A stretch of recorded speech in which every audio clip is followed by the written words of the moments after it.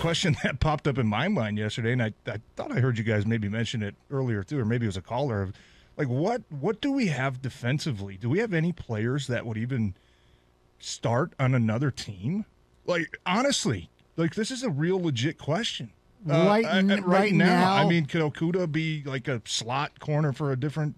Aidan would probably maybe? Aidan would probably start, but he'd be not on a great team, but he'd he'd play But even to uh, that, Oh, okay, he would play. He'd probably be a rotational guy right now. Yeah, you know what I mean? Right. Like, what other players do you have on this defense?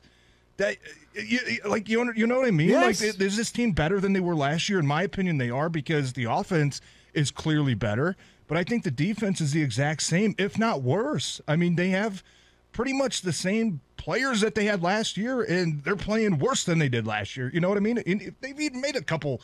We thought Hutchinson was going to be improvement. Thought you know Rodriguez is going to be a huge improvement. Those guys are rookies. I get it. They're not finished products by any means, but that was just something that was really, really blatant, obvious yesterday. Watching these games was like all these teams have playmakers. They have difference makers. The Jets, you watch Quinnen Williams yesterday, Oh, completely he was- destroy that game. Yes. They have difference makers. They have players that can take over games. We don't. We're not even close.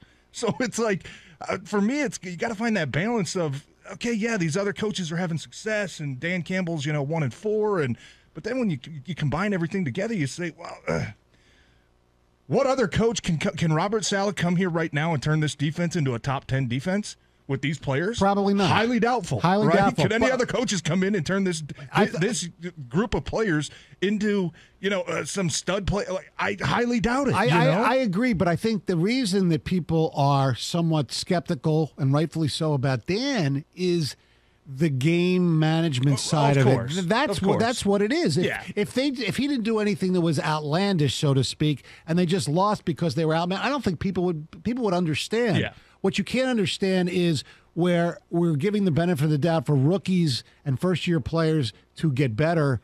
We have to have the same standard for the coach, and the coach during the game has not gotten any better than he was last year. Yeah, and that's why That's the problem. and that's that's the biggest issue with Campbell i- Yeah. is that when you're when you have a team like this that needs to do so many things right and need to have you need to have so many things go your way just to have a chance to win the game. Yeah. Right. You can't lose because of a bad decision. You Right. know what I mean? And we've seen way too many of those. Now that kind of goes back to my first point though. We've seen Campbell his willingness to adjust and be different that's the one aspect that he's going to have to improve on majorly because that's the one area of his game we have not seen improvement we've seen we've seen his willingness to change schemes and, Yes. and p- personnel and and coaches but are you gonna are you gonna look in the mirror and say all right i'm not going for it on fourth and eight from the 28 yard line Right. anymore. I'm By the- uh, not gonna do this. I'm not like i'm just gonna go let the players play. Even yesterday you watched the jets game like okay yeah fourth and one punt it back right our defense playing pretty good you feel the game out like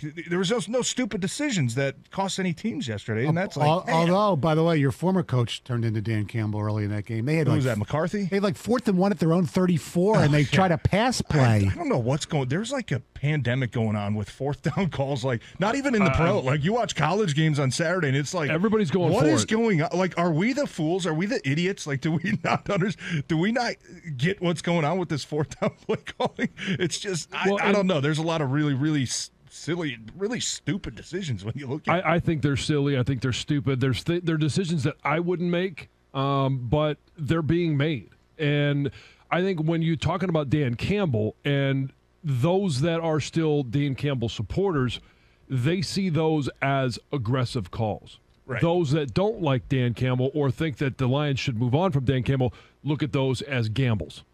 That's I think that's the, the complete different p- perspective that you're looking at is it's it's between gambling Dan and aggressive Dan. Yeah, and the one area that I don't want him to change is his aggressive nature because I think that the players uh, really like it. I, I, I say that like Right. talking to some of the guys, like the offensive linemen, they're like when when he calls, you know, run play in fourth and one, we love it because he's putting that belief in us to go get that first down. You know, Right. Uh, now from the outside looking in, is it the smartest thing to do?